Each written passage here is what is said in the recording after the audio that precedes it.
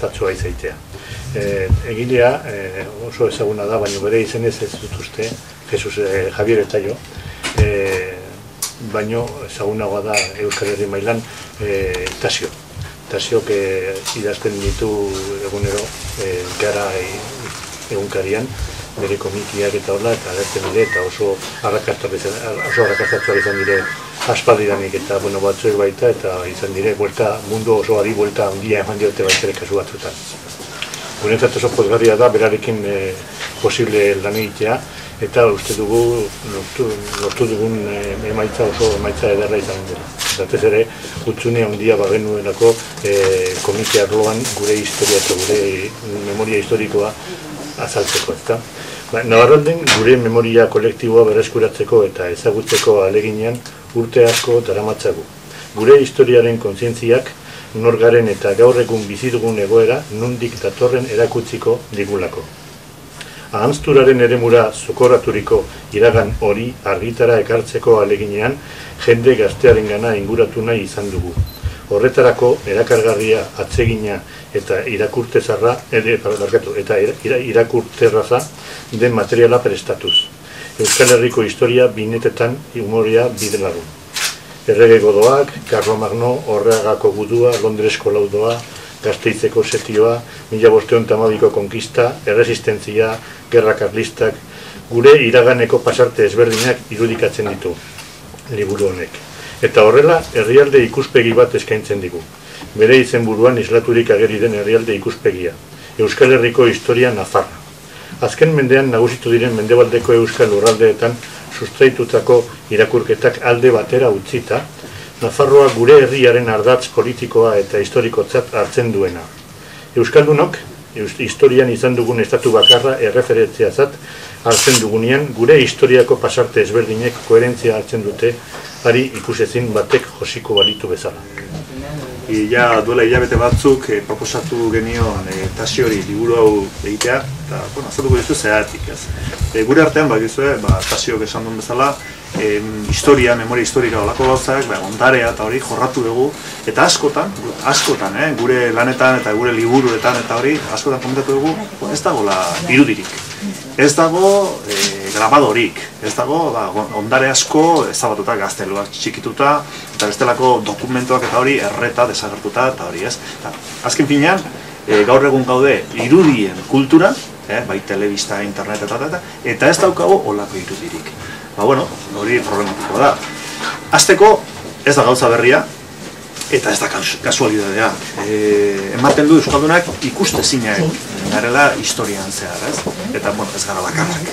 Herri indigenak eta minorizatuak eta hori, ba, askotan e, sufritzen dute olakorik, ez? Eta emakumeen kasua oso oso agerikoa da.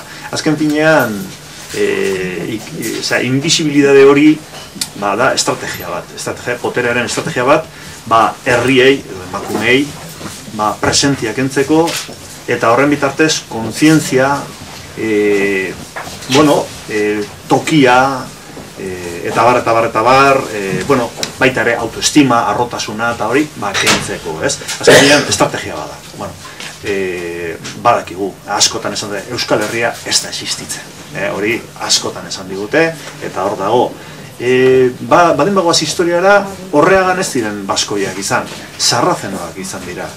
E, zera, irungo alardean, ez dakit noren kontrako batalla, bai, frantsesen kontra, ez nafarrak.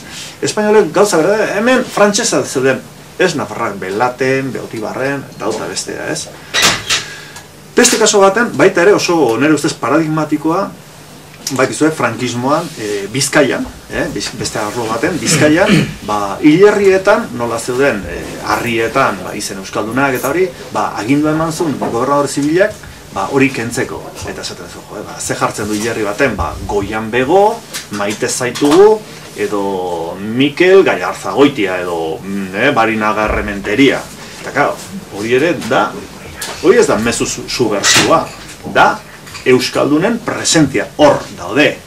Askotan hori, beste hilobetan hori lehen historikoki baita ere gertatzen da, ez? Hilobe bat, eta, hau, hau, bisigodoen garaiko, hau, bisigodoak zeuden hemen, edo erromatarren garaikoa, erromatarrak, edo musulmanak, zer, hemen ez zuden basoa, gara. Eh? Hori, invisibilidadearen eh, estrategia. Eh, esan deguna, eh, bizkaiko hilerriko hori ez. Kendu behar ziren izen euskaldunak edo espresio euskaldunak, euskaldunak berak, eh, naiz eta subversioak ez izan, eh, baina presentzia hori ja subversioa zen. Eta bueno, kendu behar. Horrela, izan dugu askotan gure artean, ba, historiaren utxun. Ez askotan ematen du, bai, Santi Maminen geundela, kobazulotan Euskaldunak geundela, hor daude, ba, zaldiak eta bisonteak eta hori, baina gero, salto ematen da, baserria eta industriara ba, hori izan arte, ez? Orduan, karo, hor, Sabino Arana da adibide garbia, berarentzat ez dago erdiko historia, ez? Erdian, ez dago, ez erresuma, ez independenzia, ez estadorik, ez lurralderik, ez dago ezer. Ba, bueno, guzti hau lotuta doa, eta bueno, hori da, ba, guretzat, ba, ostopoa izan dena, eta horri buelta eman nahi genion. Ez horregatik esan genion tasio hori. Zergatik tasio aukeratu genuen, zergatik proposatu genion e, tasio hori olako lana egitean. Ere ustez, bueno, e, ja da alde estetikoa edo alde artistikoa. Guretzat, bueno, gure gustokoa da, eh, e, marrazkilari bezala. Eta, bueno, nik esango nuke ba oso marrazkilari berezia dela, alde horretik oso elegantea da. Eh? Baina baita ere oso sintetikoa, oso garbia, oso argia. Berak ez, e, marrazten duena garbi dago esaten du. E, eta marrazkia bera ere elegantea da, garbia da, ez? Eta claro, horrek bihurtzen du ba, komunikatzaile ona. Ez? Guretzat, e, zentzu hortan oso tresna egokia, oso bide egokia. Badago beste punto bat, eh? nik esango nuke. E, eta da, e, bere estilo da, bai, eh, e, marrazten du eta hori, baina badauka punto ironiko bat, beti broma, beti broma, ba, ez mingarria, broma urbila. Nik esango nuke, karo, historia hau urbila da, berarentzako da, nik esango nuke, e, kon kariño tratatuta, maitasunez, eh, maitasunezko punto batekin tratatuta. Ze askotan herri honetan, e, umorea tratatu da baita ere burla mingarri bezala mina kalte egiteko, eh? eta gure kontrako, beti erredikulizatzeko eta hori. Hor badago beste gauza bat, eta da, e, Euskaldunok gure historia hartzen dugunean, claro, gure esan dugun bezala, gure historia e, nahiko gaizki tratatu izan da. Orduan batzuk hartzen dugu, tragikoki, ah, go, Euskalduna da, mai horren eta borrokan eta ez da tragikoki hartzen dugu, edo bestela, errefusatzen dugu, mespresatzen dugu, hor gure komplejoa sartzen da, eta kontra egiten dugu, edo bata, edo bestea. Eta nire ustez, historia guk ezagutu behar dugu ezagutu eta hori beharrezkoa da. Baina ez plano baten eta ez bestean. Eta horretarako, e, tasiok ematen dion ikutu hori oso egokia da. Ironia punto bat, distantzia punto bat, perspektiba kritiko bat, eta ezagutzen duzu hor dagona, baina bueno, eh, gehiagi azken finean iraganako gauzak dira, eta bere neurrien hartu behar dira. Eta distantzia e, horrek ematen dizu olako, olako perspektiba, ez? Eta nire ustez, bi horiek izan dira arrazoiak.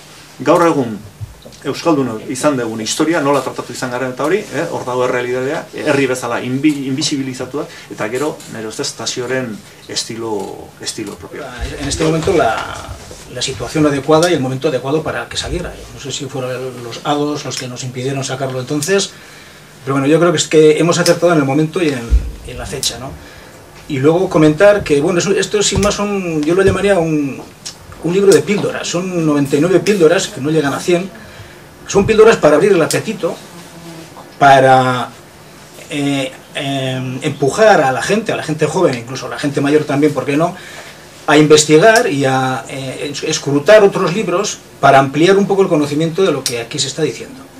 Entonces, bueno, yo lo, presento como, como, una píldora de apetito para que nos ayude un poco a, a, conocer un poco más la historia nuestra, que tantos unos como otros nos la quieren ocultar, y dejar un poco, superar el tema de la invisibilidad que comentaba Ángel.